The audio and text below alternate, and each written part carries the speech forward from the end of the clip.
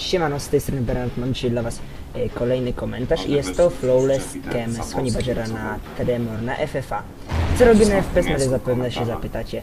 Mianowicie zapytałem się e, dziadka Rybki, którego znacie też jako kontynuatora egzystencji starszych pań, czy też pogromcy autobusów, morderców, czy mógłbym umieścić swój materiał e, na właśnie tym kanale. Powiedział, że spoko, że nawet lepiej, żebym dwa zrobił, nie powiedział mi jeszcze dlaczego, ale niedługo się dowiem. Dzisiaj dzisiejszy temat, zanim przejdę do niego, a będzie to czy skill, czy sprzęt. Yy, chciałem Was bardzo serdecznie zaprosić yy, na mój kanał. Link będzie podany w opisie, na którym właśnie zamieszczam kemy, czy też Moaba. Yy, Moaba mam na razie jednego, w sensie yy, na kanale. Oczywiście mam o wiele ich więcej, także co tam będziecie chcieli, będę mógł z różnych kodów wrzucać, wrzucam. Mam już naprawdę trochę filmów. I całkiem nieźle myślę, mi to idzie zarówno gameplay, jak i komentarz, także serdecznie zapraszam. Ale zaczynając. Yy, Gdybym miał odpowiedzieć w jednym zdaniu na pytanie skill czy sprzęt, odpowiedziałbym i to i to. Dlaczego? Może zacznijmy od tego, co dobry gracz na PC powinien mieć, aby no, yy, był w stanie grać bez żadnych problemów i po prostu, żeby jego zgony nie wynikały z tego, że po prostu spadły mu klatki lub po prostu miał słabszy sprzęt, tak. Yy, myślę, że yy, konsolowcy mają nieporównanie łatwiej, gdyż jedyne co im potrzeba to skaw kontroler, jak już chcą, chociaż na normalnym podobno też się da grać, nie nigdy nie grałem na konsoli. I ten jeszcze, potrzebują dobry internet, ale to każdy potrzebuje, to znaczy jak można się nauczyć grać na słabym, ale na słabym mam na myśli taką neostradę, która nie jest dobra, ale nie jest też słaba, prawda? Także wszystko się da na wszystkim praktycznie, ale oprócz internetu potrzebują oni tylko pada i słuchawek. Natomiast PC-towcy, oprócz słuchawek, najlepiej, żeby były to słuchawki stereo, które mm, takie, które są przeznaczone z myślą o właśnie graczach, a jeśli macie kupić jakieś tritony, to lepiej kupcie słuchawki stricte do PC-ta, po prostu będą tańsze, a nie będą gorsze, nawet będą lepsze. Oprócz słuchawek potrzebna jest myszka. Najlepiej, żeby myszka y, miała y, parę opcji do wyboru, jeśli chodzi o DPI, czyli o rozdzielczość myszy, oraz najważniejsze, miała tylko jedną milisekundę opóźnienia, bo to jest naprawdę ważne i mm, to najlepiej, żeby była oczywiście z kabelkiem, nie bezprzewodowa.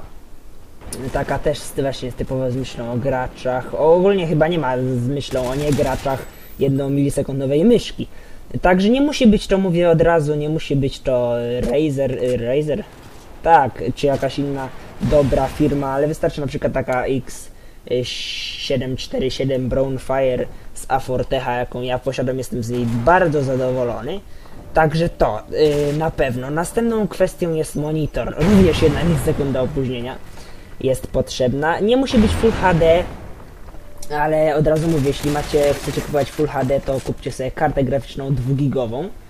No, mm, także najlepiej, żeby miał właśnie monitor tą jedną milisekundę opóźnienia i co najmniej 1680 na 1050 yy, rozdzielczość. Oczywiście na początku będzie trudno się przestawić, jeśli macie jakieś mniejsze, ale, ale szybko się nauczycie, szybko się przestawicie i przyzwyczajicie do tego właśnie sprzętu. Jak już powiedziemy o karcie graficznej, to chciałem też powiedzieć o tym, żeby płyta główna, procesor i wszystko było właśnie yy, zaplanowane tak, żebyśmy utrzymali co najmniej 60 stałych klatek yy, w naszej ulubionej części Call of Duty, czy w tą, po którą po prostu najczęściej gramy. Yy, Co do internetu, to najlepiej, żebyśmy mieli pingi gdzieś tak do 60, wtedy będzie naprawdę. Są programy, które mogą nam testować. Ja na przykład muszę mieć Neostradę, ponieważ y, mieszkam, nie mówię, że mieszkam na zadupiu, ale mieszkam 100 metrów od miasta, już nie montują mi dialogu, tylko montują mi Neostradę, która y, ma gorsze pingi od MaxNeta, którego miałem 3 na 0,5, a teraz mam 10 na 1 internet i mam pingi gorsze, przynajmniej w Black Ops 2, ale Ghost oczywiście tych pingów nie można sprawdzić. No, no i to by było na tyle, jeśli chodzi o sprzęt. Mi to jeszcze parę minut zostało, więc wypowiem się o skill. Jeśli chodzi o skill, to myślę, żeby cokolwiek ugrać taką podstawą jest, ja nie wiem, to zależy, to zależy w co chcecie ugrać i y, w co, czyli w jaką grę y, chcecie być dobrymi oraz co chcecie ugrać, czy kema, czy jakieś staty na plusie, czy wysokie KD, bo wiadomo, każdy ma inne priorytety. Ale myślę, że 200 godzin w każdej grze to jest tak minimum. Ja mam gdzieś jakieś około 1000, trochę mniej, 800 coś, 900 coś godzin, ogólnie w całym Call of Duty. Także to zależy właśnie od tego, jak szybko osiągniecie sukces w Ghost, tak y, to zależy od tego, ile macie doświadczenia w poprzednich Call of Duty, bo jednak to nie różnią się od siebie te serie, aż te części poszczególne Call of Duty y, od siebie tak bardzo. Na pewno musicie mieć dobrego aima, dobrze poruszać się po mapie, czyli obrzeżami, za glitchem się trzymać, y, sugerować się, y, ogarniać minimapę, czyli sugerować się czaszkami, sugerować się czerwonymi punktami, krokami przeciwników, co w czym pomogą wam właśnie sławki. Także naprawdę ten perk Amplify, czyli wzmocnienie jest naprawdę obowiązkowy w tej y, dziesiątej już odsłonie serii Call of Duty.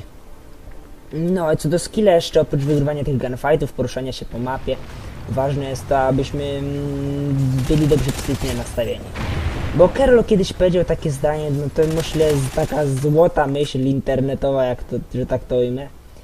Psychika to jest to, co dzieli graczy PC-towych, czy ogólnie graczy Call of Duty od najlepszych i gorszych. Psychika, naprawdę psychika, nastawienie psychiczne jest bardzo, ale to bardzo ważne jeśli chodzi właśnie o tą serię i dobrze nastawienie psychiczne na przykład po dobrym obiedzie, czy czymś takim, co jest w stanie nas zmotywować, e, jesteśmy w stanie ugrać bardzo dobre wyniki. Nie mówię, żebyście ćpali jakieś, wiecie, negotyki czy gango jak Tibner Flags, ale musicie znaleźć swój sposób na skupienie. Najlepszym sposobem będzie na przykład dowiedzenie się w szkole, są takie testy w gimnazjum, e, czy jesteś kinestetykiem, czy wzrokowcem, słowcem i dostosować to do swojego stylu gry, przez co na przykład jak chcecie się skupić będąc kinestetykiem, to tak jak ja napieprzacie sobie nogą pod biurkiem, prawda, tak sobie nią poruszacie, czyli coś musicie zrobić, żeby odkryć ten swój złoty środek na y, skupienie.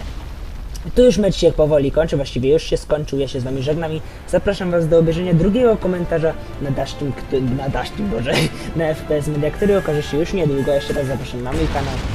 Widzimy się już całkiem, całkiem w niedalekiej przyszłości. Nara.